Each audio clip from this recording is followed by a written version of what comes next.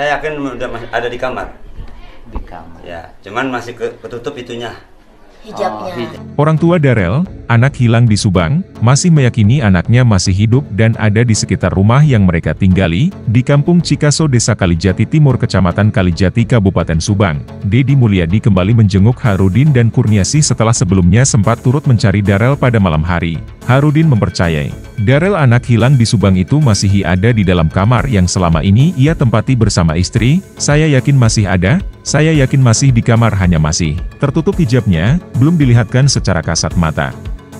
Saya kalau tidur sama istri masih merasa tidur bertiga sama anak saya, ujar Harudin. Atas keyakinannya itu, Harudin setiap hari membersihkan kamar tersebut. Bahkan kasur yang digunakan untuk tidur dilapisi oleh selimut kesayangan Darel. Kang Dedi juga meyakini dalam waktu dekat Darel akan segera ditemukan. Secara logika, kata dia, kalau anak tersebut masih di sekitar sini pasti segera ditemukan. Terkecuali anak tersebut dibawa oleh orang lain atau diculik maka bisa jadi sudah berada di luar daerah tersebut.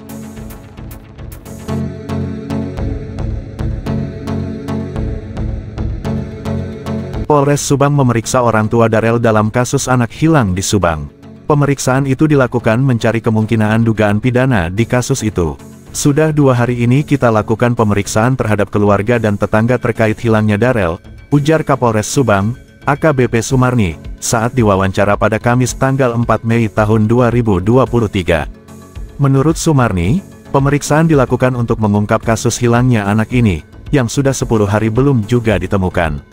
Kami juga menurunkan tim forensik psikologi dari Polda Jabar untuk memeriksa kedua orang tua korban bersama kakak korban, dan pihak keluarganya, katanya. Semoga dengan terus menggali keterangan sejumlah pihak termasuk dari keluarga, bisa menemukan titik terang dan korban bisa ditemukan. Tentunya pemeriksaan psikologi ini kita ingin menggali keterangan yang sesungguhnya terkait hilangnya Darel, jangan sampai isu liar Darel diculik makhluk halus terus berkembang di masyarakat, ungkapnya. Selain itu pemeriksaan terhadap keluarga korban juga bertujuan untuk mengungkap motif hilangnya Darel. Kasus hilangnya Darel juga kita takutkan ada unsur atau motif kriminal seperti diculik orang lain. Makanya kita terus intensifkan pemeriksaan sejumlah saksi, ucapnya.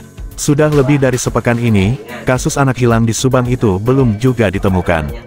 Segala daya telah dikerahkan untuk mencari anak yang hilang di di kampung Cikaso Desa Kalijati Timur Kecamatan Kalijati Kabupaten Subang itu. Kasus ini jadi perhatian karena sempat diviralkan bahwa anak hilang di Subang itu diculik makhluk halus, setelah sempat mendatangi rumah keluarga yang sudah lama tak ditinggali. Polisi pun terus menggali keterangan sejumlah saksi dan juga dari pihak keluarga termasuk orang tua Darel. Pemeriksaan terhadap orang tua Darel itu dilakukan untuk mendalami lebih jauh terkait kemungkinan dugaan pidana di balik hilangnya Darel. Pasalnya, hilangnya Darel ini dinilai tak wajar. Mengingat, jika melihat lokasi kampung tempat di mana Darel hilang, nihil kemungkinan anak itu bisa hilang. Pulang kali abis ini udah pulang beli sebelah. enggak enggak saya tanya juga pas pas eh, apa namanya pas eh, dicari-cari nggak ada kakaknya pulang dari sebelah eh kalian Darel diajak nggak enggak dulu nggak ikut Oh, tapi waktu bapak pulang bawa gerobak, Darel itu ada dan kakaknya nggak udah nggak ada, udah nggak ada udah beli sebelah. Udah pergi beli saya sebelah. bahkan nggak tahu mereka beli sebelah. Oh, kata mamanya kata mamanya emang anaknya ke mana? Di sebelah Ya, cari.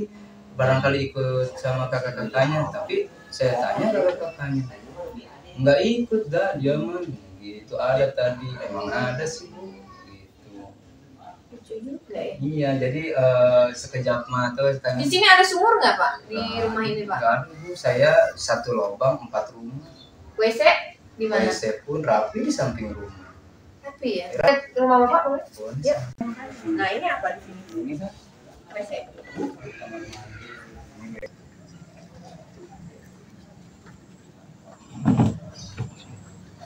Share.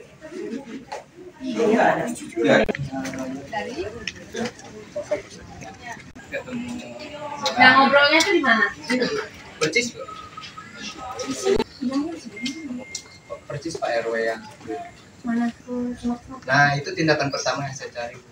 Setelah abahnya bilang anak ke mana anak ke mana yang lain pada nyari di rumah-rumah saya nyari ke kebun terus eh, lama waktu ya waktu berjalan makin sore makin sore saya ngambil tindakan bilang ke mamang saya kebetulan ketua DKM Pak memang tolong sebar eh, kasih tahu ke warga melalui sepeda eh, bahwa kakak saya anaknya hilang. Kaget ngomong sih yang mana si Darel ah kok bisa?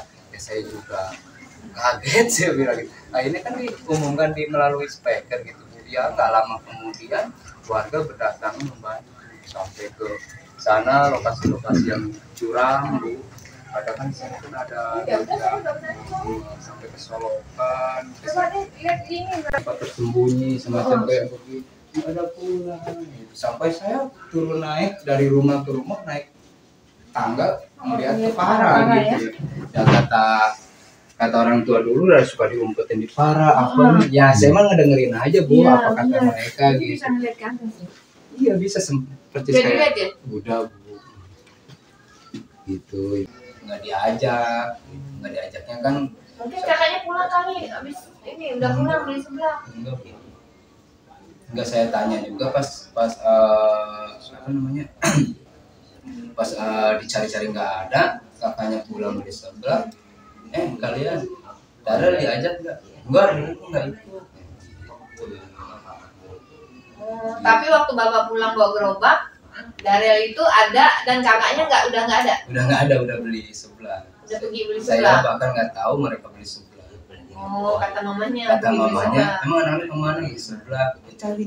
Barangkali ikut sama kakak-kakaknya tapi saya tanya kakak-kakaknya nggak ikut dah dia mah gitu ada tadi emang ada sih bu gitu Lucu juga ya. iya jadi eh, sekejap mata tanya Di sini ada sumur nggak pak di Nggak rumah ini pak? nggak ada bu saya satu lubang empat rumah WC di mana? WC pun rapi di samping rumah Tapi ya. Rumah bapak boleh? Pun Yuk. Nah ini apa di sini? ini kan WC. kamar mandi